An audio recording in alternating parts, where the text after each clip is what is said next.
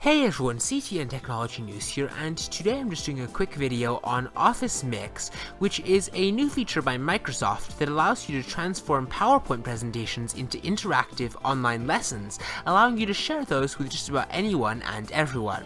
This could be a novel method for educators to distribute and interact with their presentations. So Mix would basically help when enabled to transform PowerPoints into interactive online lessons, as well as presentations, helping you get rid of boredom in the classroom. There's an add-on which is installed that lets you record audio, video, and handwriting, as well as being able to insert interactive elements such as quizzes and CK12 exercises. Apart from that, there's also a screen capture tool that allows you to record anything you'd like on your computer. When done, just click Create Mix, and some XML Mix will turn it into an interactive document that is complete with analytics. Now, you can sign up for the preview today. I'll provide the link to it in the description below. Let me know what you think, think of this feature in the comments below, and I will see you next time. Bye!